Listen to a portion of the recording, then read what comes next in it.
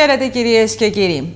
Το δικό του μήνυμα για τις Άγιες ημέρες των Χριστουγέννων έδωσε ο Μητροπολίτης Λαρίσης και Τυρνάβου, κύριος Ιερώνυμος. Χριστούγεννα και πάλι φέτος και παρά τα γεγονότα που συμβαίνουν στο τώρα, καλούμαστε να θυμηθούμε τα γεγονότα που συνέβησαν τότε. Την κυρία Θεοτόκο που έγκυος ερχόταν στη Βιθλεέμ, τον κύριο Ιησού που βρέφος γεννιέται, σπαργανώνεται και τοποθετείται στη Φάτνη, τον Ιωσήφ με τους λογισμούς του, την προσκύνηση των ποιμένων, τη δοξολογία των αγγέλων, την προσκύνηση των μάγων, όλα αυτά τα οποία περιγράφουν τα Ευαγγέλια. Και δείτε το κλίμα των Ευαγγελίων και το κλίμα της εποχής. Τα Ευαγγέλια περιγράφουν ένα κλίμα σιωπής, ένα κλίμα ησυχίας. Το μυστήριο της αρκώσεως του Θεού Λόγου ενεργείται μέσα στη σιωπή, μέσα στην ησυχία. Σε ώρα ιερή προσευχής βρίσκει ο Αρχάγγελος Γαβριήλ την υπεραγία Θεοτόκο και τελείται το γεγονός του Ευαγγελισμού. Μέσα στη σιγαλιά της νύχτας γεννιέται ο Χριστός και τοποθετείται στη φάτνη. Ό,τι συμβαίνει, συμβαίνει μέσα σε ησυχία. Και δοξολογούν μεν οι άγγελοι, αλλά με εκείνον τον μοναδικό τρόπο, τον μυστηριακό που αυτοί ξέρουν. Και οι επιμένες απλά προσκυνούν και οι μάγοι έρχονται χωρίς τυμπανοκρουσίες, χωρίς φωτοβολίδες, χωρίς πολλά φώτα. Αυτά τα οποία συμβαίνουν, συμβαίνουν μυστικό το τρόπο, έτσι ώστε πραγματικά να φανεί πως τα μεγάλα γεγονότα για να γίνουν και να αποκτήσουν πραγματική ουσία και να πιάσουν τόπο, όπως λέμε λαϊκά, χρειάζονται τη σιωπή, την ησυχία της ψυχής, ώστε ο άλλος να προσιλωθεί και να κατανοήσει τι συμβαίνει.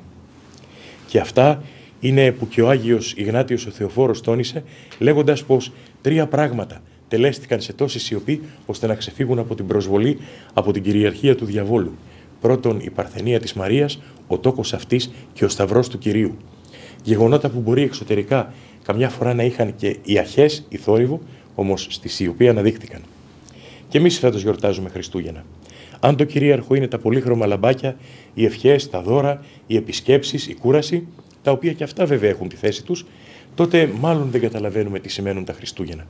Τα Χριστούγεννα για να εορταστούν χρειάζονται ησυχία, χρειάζονται σιωπή, χρειάζονται ειρήνη και γαλήνη ψυχής. Το προηγούμενο διάστημα η περιοχή μας δοκιμάστηκε. Δοκιμάστηκε από πολλά, από το δυστύχημα των τεμπών, από την πλημμύρα. Την πλημμύρα την ακολούθησε η πλημμυρίδα των λόγων. Δεν μας κούρασε τόσο το νερό που ήρθε να μας πνίξει, όσο τα όσα υπόθηκαν μετά από σχετικούς και ασχέτους, επαΐοντες και αμόρφωτους, από επιστήμονες, ειδήμονες και ανθρώπους του καφενείου, υπόθηκαν πολλά. Γεμίσαμε λόγια. Και η πλημμυρίδα των λόγων μας φόβησε και μας κούρασε πολύ περισσότερο από ότι η πραγματική πλημμύρα των υδάτων. Είναι κάτι που πρέπει να το κατανοήσουμε και να αρχίσουμε να ησυχάζουμε, να περιορίζουμε τα πολλά λόγια για να κατανοήσουμε πως ακόμα και αν υπάρχει θυμός, ακόμα και αν υπάρχει διάθεση αγανάκτησης, με τη φωνή και με την ένταση δεν έγινε ποτέ τίποτε. Τα μεγάλα έργα, οι μεγάλες πράξεις τελεσιουργούνται στη σιωπή, στην ησυχία και η Εκκλησία αυτό ζητά. Την ησυχία μέσα στο ναό, ώστε να, να υπάρξει η εσωτερική ησυχία ως ακολούθημα. Να μπορέσει ο άνθρωπος να ησυχάσει από τους εξωτερικούς περισπασμούς για να μπορέσει να πλησιάσει τον Θεό, να τον ακούσει, να τον ζήσει, να συμμορφωθεί προς τον νόμο του, να πάρει τις αποφάσεις του. Χρειαζόμαστε να ησυχάσουμε. Όπως τα Χριστούγεννα μέσα στην ησυχία ξεδιπλώνουν τα μεγαλύτερα μηνύματα και καλούν τον άνθρωπο στα σπουδαιότερα γεγονότα, έτσι και εμείς πρέπει να το πάρουμε απόφαση πως πρέπει να ησυχάσουμε, πως πρέπει να διεκδικήσουμε την ειρήνη της ψυχής, την ηρεμία μας, την ησυχία μας, ώστε με σύνεση, μέσα σε περιβάλλον σωστό, να σκεφτούμε, να πάρουμε αποφάσεις, να εξετάσουμε για να συνεχίσουμε τη ζωή μας και στο νέο χρόνο. Καλά Χριστούγεννα, την ευλογία του γενόμενου λυτρωτού, την ειρήνη του κόσμου σε όλους τους Λαρισαίους, σε όλη την περιοχή μας. Επιποδός ε, βρίσκονται τώρα για τις ημέρες των ε, Χριστουγέννων οι αστυνομικοί της Τροχέας Θεσσαλίας προκειμένου να αποφευχθούν ατυχήματα από τους δρόμους. Επίποδος για την έξοδο των Χριστουγέννων και τις ασφαλεί μετακινήσεις τη γιορτές βρίσκεται το τμήμα τροχέα σε ολόκληρη τη Θεσσαλία. Τα αυξημένα μέτρα οδικής ασφάλειας θα διαρκέσουν έως και το Θεοφάνεια, ενώ σύμφωνα με απόφαση της αστυνομίας, οι απαγορεύσεις κίνησης φορτηγών αυτοκινήτων θα ισχύσουν σε πολλές περιοχές. Η υπηρεσία μας, μέσα στα πλαίσια της γενικότερης προσπάθειας που καταβάλει για την πρόληψη και μείωση των τροχιών ατυχημάτων, αλλά και τη βελτίωση των κυκλοφοριακών συνθήκων, εν ώψη των εορτών των Χριστουγέννων και του νέου έτους, θα βρίσκεται με το σύνολο της δύναμής της στο επαρχιακό και εθνικό δίκτυο, αλλά και εντός της πόλης, για τη διευκόλυνση των οδηγών. Επισημαίνεται ιδιαίτερα η προσοχή των οδηγών που πρόκειται να κινηθούν στο επαρχιακό και εθνικό δίκτυο, καθώς αναμένεται μεγάλη μετακίνηση πληθυσμού και αυξημένη κυκλοφορία σε ολόκληρο το οδικό δίκτυο και παρακαλούμε να ακολουθήσουν κάποιες συγκεκριμένες συμβουλές. Να οδηγούν με ταχύτητα που ορίζουν οι πινακίδες κυκλοφορίας και να οδηγούν στο δεξιό άκρο του οδοστρώματος. Να μην ενεργούν αντικανονικό προσπέρασμα καθώς η επιθετική οδήγηση έχει δυσάρεστα αποτελέσματα. Να μην παραβιάζουν την προτεραιότητα και να τηρούν τις αποστάσεις ασφαλείας. Να οδηγούν χωρίς την κατανάλωση υνοπνεύματος, καθώς η πνευματική διάβγεια ενεργοποιεί στο ύψιστο σημείο τα αντανακλαστικά μας. Να χρησιμοποιούν σωστά τα φώτα και τους δείκτες αλλαγής κατεύθυνσης στα οχήματά τους. Να μην παραβιάζουν τους σηματοδότες. Να χρησιμοποιούν ζώνες ασφαλείας σε όλους τους επιβάλλοντες του οχήματος και να χρησιμοποιούν παιδικά καθίσματα για τα παιδιά οι οδηγοί των κύκλων να φορούν κράνος και γενικά να οδηγούν με τεταμένη την προσοχή τους, καθώς τα περισσότερα ατυχήματα οφείλονται στην έλλειψη αυτής. Τα εντατικά μέτρα αστυνόμευσης ισχύουν σταδιακά από τις 22 Δεκεμβρίου έως και του 7 Ιανουαρίου του 2024, ενώ θα κορυφωθούν τις ημέρες μαζικής εισόδου και εξόδου των οχημάτων από και προς τις Θεσσαλικές πόλεις. Η υπηρεσία μας σας εύχεται καλά Χριστούγεννα, ευτυχισμένο το νέο έτος η είσοδος και η έξοδος των εορτών να είναι ανέμακτη και αυτό αποτελεί ευχή και χρέος όλων μας. Με αφορμή την έξοδο για τις γιορτές, η τροχέα συστήνει στους οδηγούς να είναι προσεκτικοί, να μην αναπτύσσουν υπερβολική ταχύτητα, να μην οδηγούν υπό την επίρρεια αλκοόλ, να μην προβαίνουν σε αντικανονικές προσπεράσεις και βέβαια να αποφεύγουν τη χρήση κινητό τηλεφώνου κατά την οδήγηση.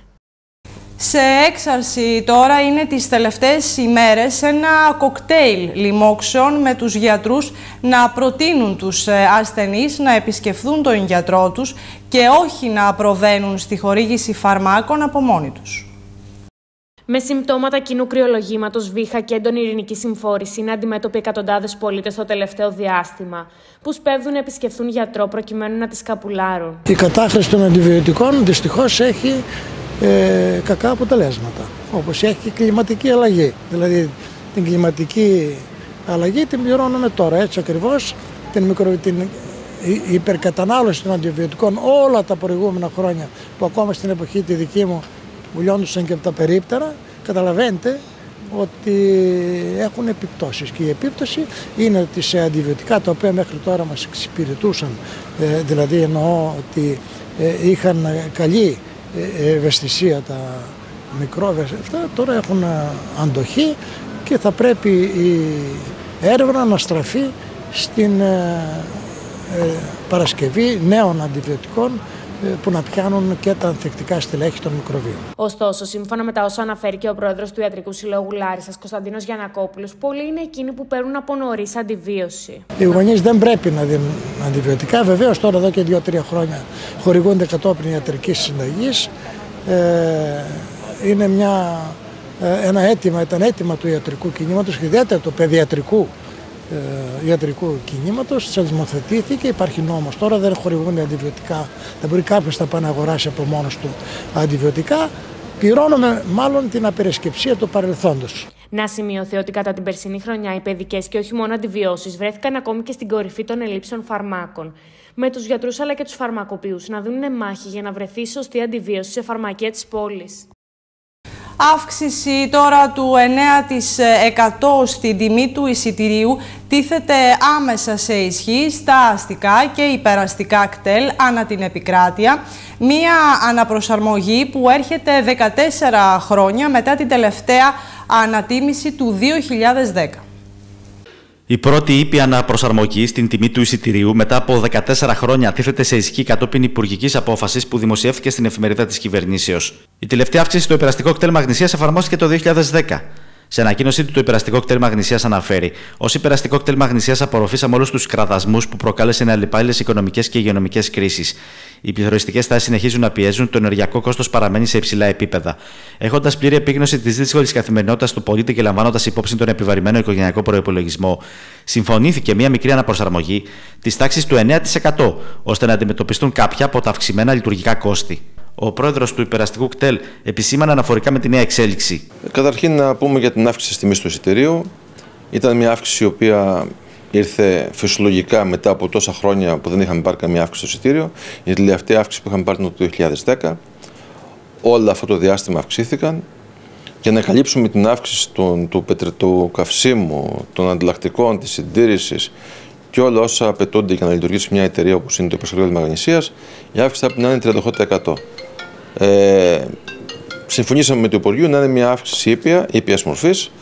Ήταν αύξηση στη τάξης περίπου του 9%. Ε, και ήδη εφαρμόζεται από το πρωί σήμερα. Δεν υπάρξαν ιδιαίτερες αντιδράσεις στον κόσμο. Θα, θα έλεγα ότι ο κόσμος περίμενε ότι κάποια στιγμή θα αυξήσει το εισιτήριο.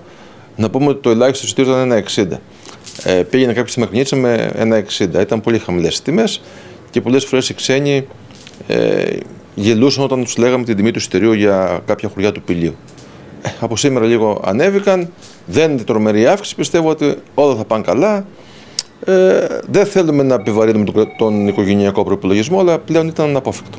Από πλευράς πάντως των εκπροσώπων των κτέλ σε πανελλαδικό επίπεδο επισημαίνεται δεν θέλουμε να επιβαρύνουμε τον οικογενειακό προπολογισμό, αλλά πρέπει να συνεχίσουμε να παρέχουμε αξιόπιστες υπηρεσίες στο επιβατικό κοινό.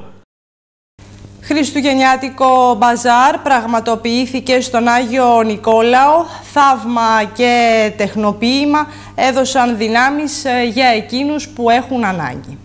Χριστουγεννιάτικο μπαζά στον Αγίο Νικόλαο με μοναδικές δημιουργίες, θαύμα και τεχνοποίημα ένωσαν δυνάμει για εκείνους που έχουν ανάγκη αυτή τη δύσκολη συγκυρία. Έστειλαν μήνυμα αλτρουισμού σε κάθε περίπτωση τόσο η αντιπρόεδρος του Συλλόγου Τεχνοποίημα όσο και η πρόεδρος της Πανελλήνιας Φιλανθρωπικής Δράσης Θαύμα. Και σήμερα βρισκόμαστε εδώ για να δείξουμε τις δημιουργίες μας και να βοηθήσουμε στη φιλανθρωπική δράση Θαύμα που βοηθάει ανθρώπους με... Ε, που έχουν ανάγκη. Ε, Θέλω να ευχηθώ σε όλο τον κόσμο ε, καλές γιορτές με υγεία, αγάπη και ειρήνη. Σήμερα είμαστε εδώ με το τεχνοποίημα το οποίο μας στηρίζει, μας στηρίζει εδώ ε, και πολύ καιρό. Σήμερα θα βοηθήσουμε όλοι μαζί, θα στηρίξουμε το θαύμα που συνδράμει σε πάρα πολλές οικογένειες σε θέματα υγείας και επιβίωσης. Εύχομαι καλές γιορτές σε όλους, μέσα από την καρδιά μου, υγεία πάνω απ' όλα και αγάπη σε κάθε οικογένεια. Στην κατάμεστη αίθουσα του Δημοτικού Οδείου Λάρισας πραγματοποιήθηκε η τελετή ορκομοσίας του νέου Δημοτικού Συμβουλίου του Δήμου Λαρισαίων.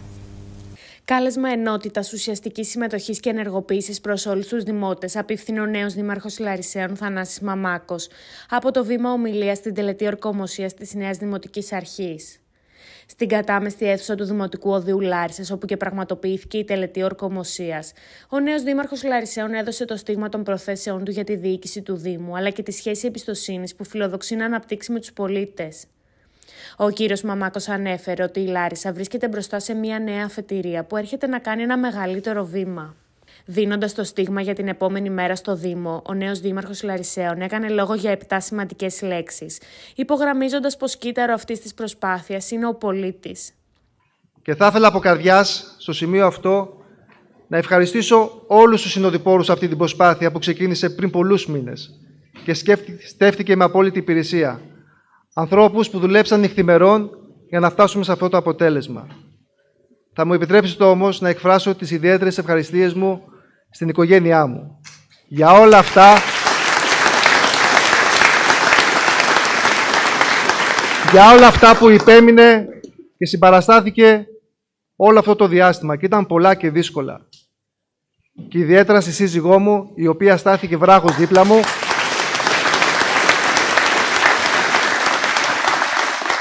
Και θέλω να της πω ότι αυτά μας κάνουν πιο δυνατούς και θα αντιμετωπίσουμε και αυτά που έρχονται.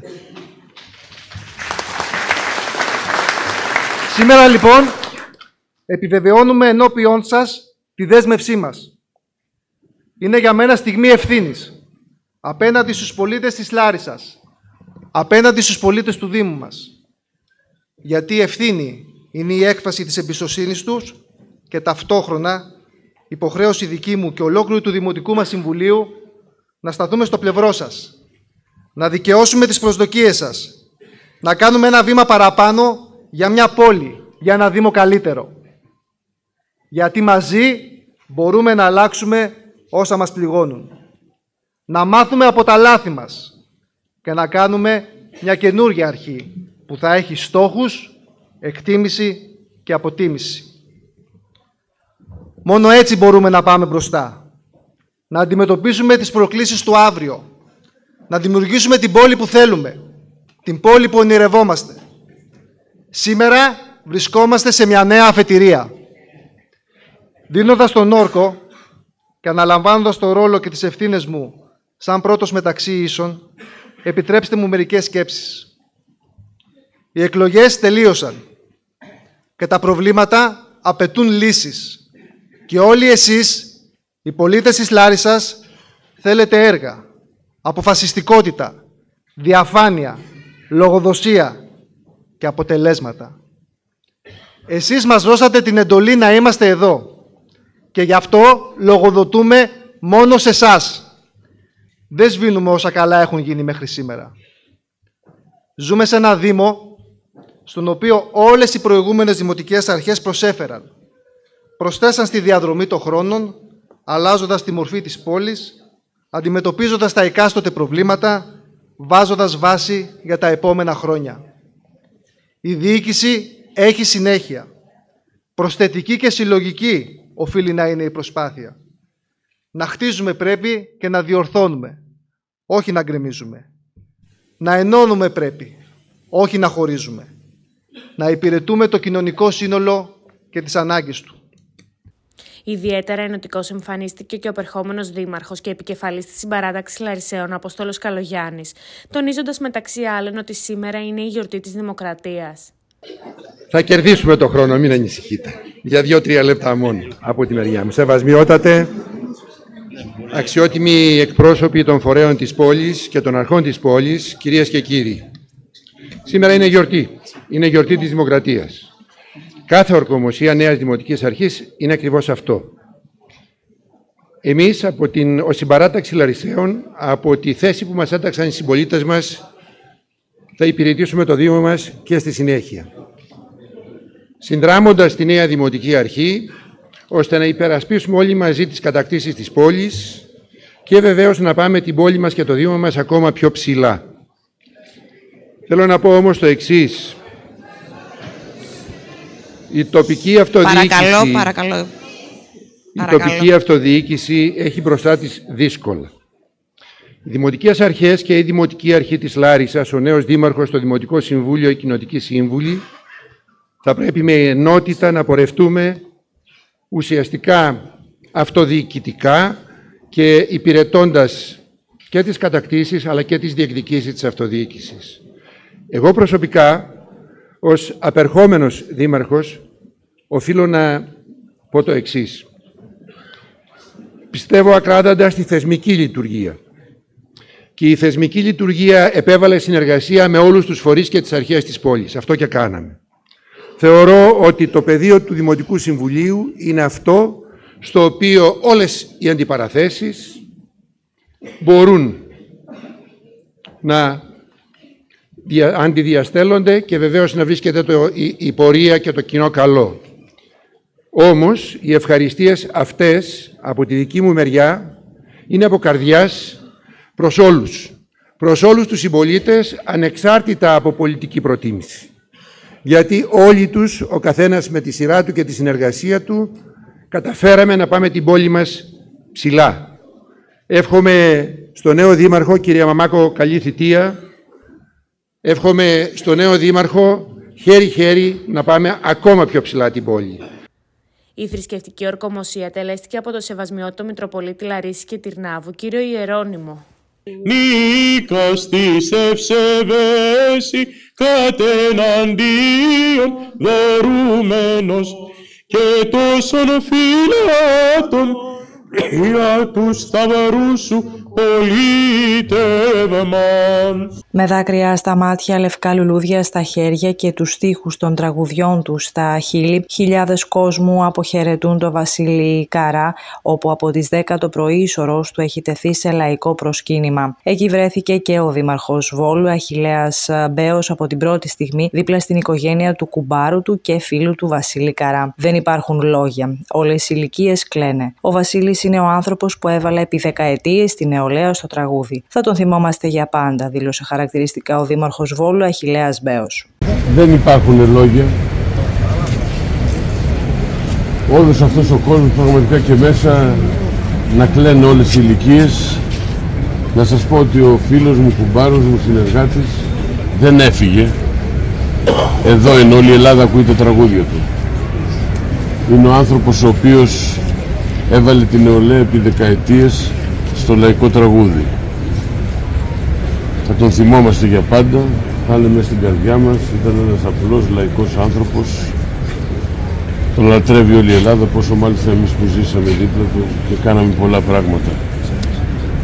Τα λόγια είναι φτώχεια. Έχετε κάποια στιγμή που αποτυπώνει το τι άνθρωπος ήταν ο Βασίλης Καράς, γιατί σαν καλλιτέχνη τον ξέρουμε όλοι. Και ήταν Παιδιά, να, να σας πω ότι όχι μία στιγμή, εκατοντάδες στιγμές, μόνο 12 φορές τον πήγα στην Αμερική, στον Καναδά και στην Αυστραλία. Όχι την ίδια χρονιά, διαφορετική, οπότε καταλαβαίνετε πάνω από 30 χρόνια είμαστε μαζί και είναι στιγμές οι οποίες δεν ξεχάσω ποτέ, οπότε για μένα προσωπικά αλλά και για όλους τους Έλληνες πιστεύω θα συνεχίσει να υπάρχει τι λέει, δεν πάω πουθενά, εδώ θα μείνω και θα μείνει εδώ στη μνήμη όλων. Ευχαριστούμε κύριε Μπέος.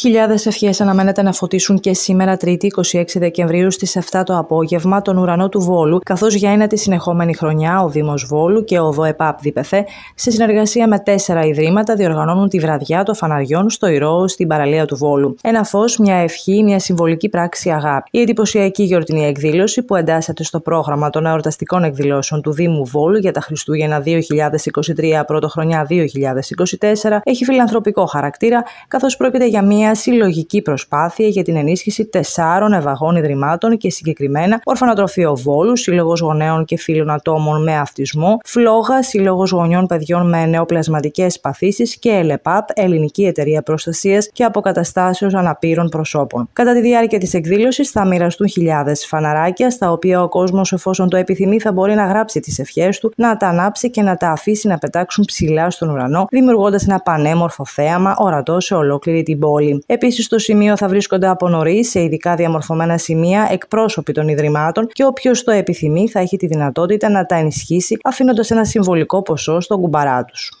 Είναι μάλιστα τέτοια η ανταπόκριση του κόσμου κάθε χρόνο που από τη δεύτερη κιόλας χρονιά ο Δήμαρχος Βόλου Αχηλέα Μπέος είχε δώσει μία υπόσχεση να γιορταστεί η βραδιά των φαναριών με μία συναυλία. Έκτοτε η βραδιά των φαναριών γίνεται ακόμη πιο μαγική και φωτεινή, καθώς επίσημοι προσκεκλημένοι τη λαμπρύνουν με την παρουσία τους. Φέτος, επίσημοι προσκεκλημένοι θα είναι η Αναστάσια και το συγκρότημα Αλκατράς, που θα κάνουν την ε, δική τους ευχή πριν δώσουν συναυλία κάτω από το φωτισμένο με ευχές ουρανό του Βόλου. Η εκδήλωση ξεκινά στις 7 και στις 7 και 5 με το σύνθημα του Δημάρχου Άχιλε Μπέου.